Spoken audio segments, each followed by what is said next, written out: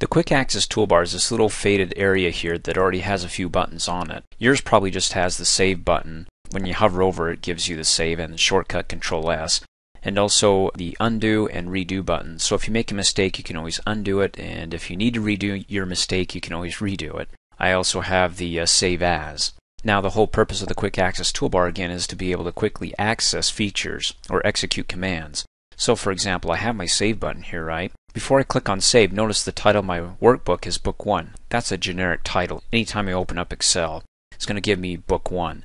Now it'll always be Book 1 until I actually save it.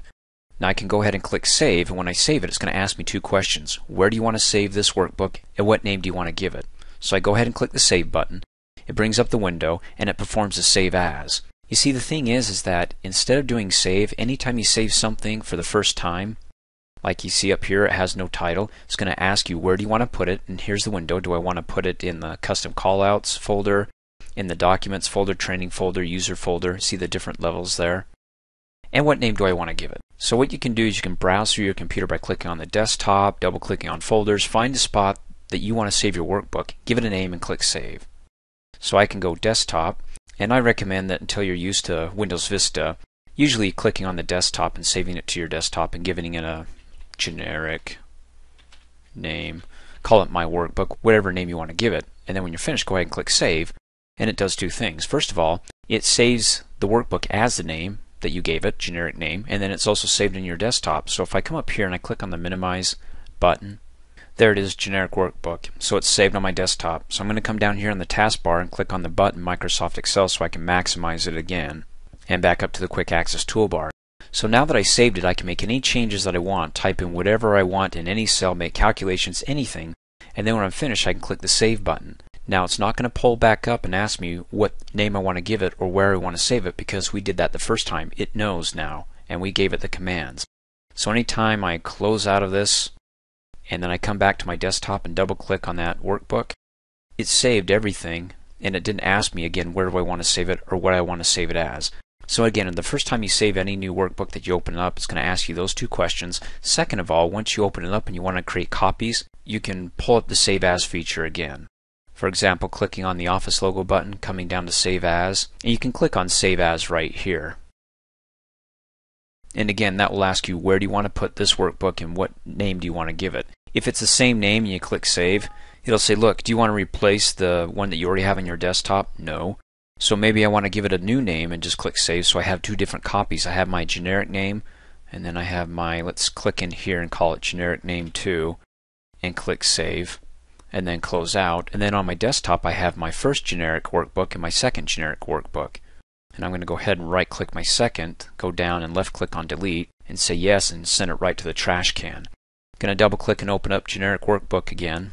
You see my white cross? As long as I can see it I'm going to click and drag to select a range and everything within that range, all these DFs, I'm going to hit the delete key on the keyboard and get rid of it, then click off in a blank area.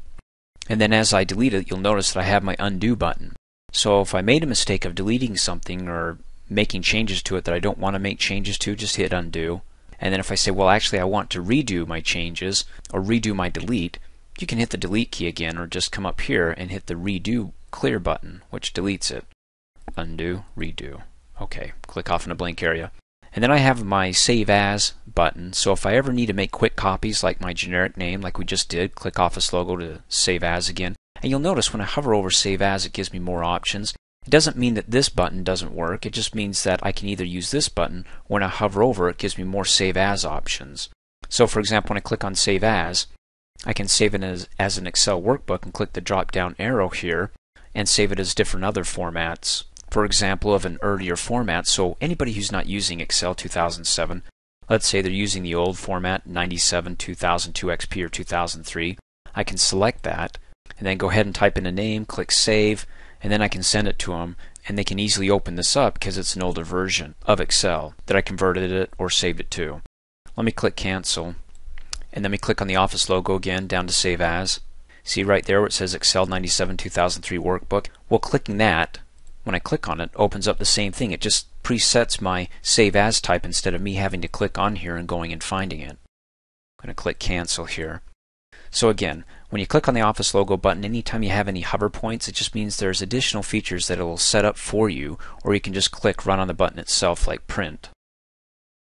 It opens up my print setup so I can go ahead and make any changes to it and tell it how many pages I want to print and so forth before I actually click OK.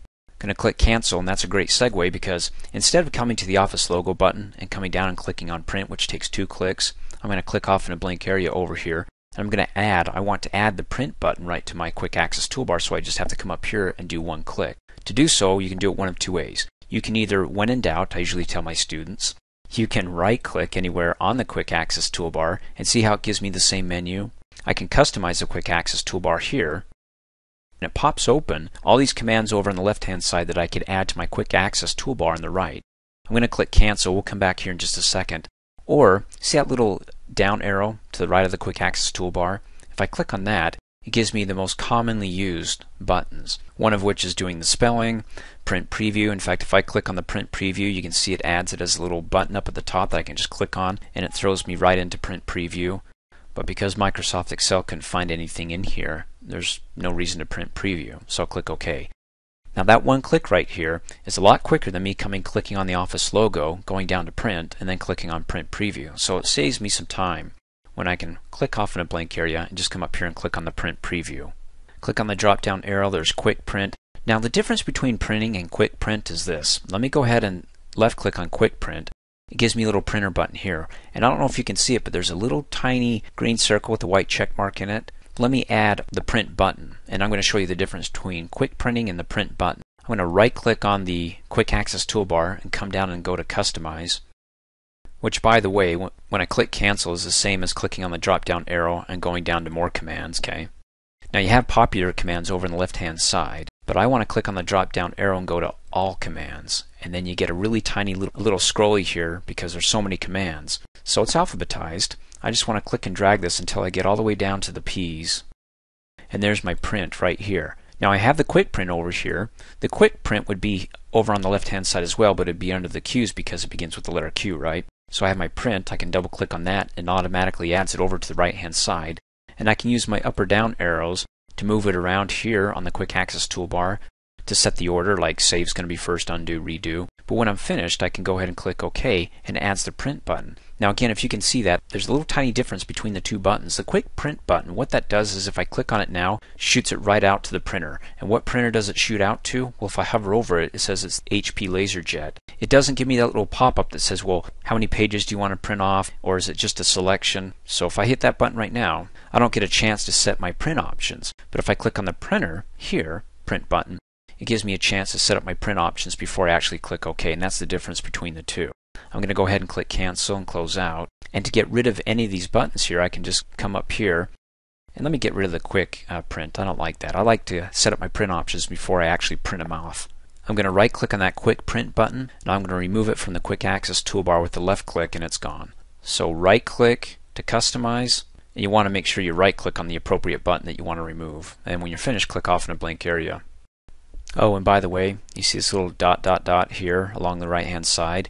Anytime I click on print preview, it likes to outline or put page breaks so I can see what's going to be printed in one page. So everything between the column A and I is going to be on one page and everything over to the right may be on a second or third page. But you want to watch the later training videos on that. For right now, we're done with the quick access toolbar.